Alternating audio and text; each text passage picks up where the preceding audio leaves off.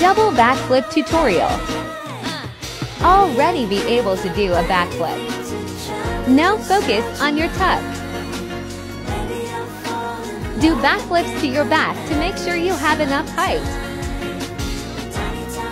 Eventually, you just have to send it. Now add more height and land it.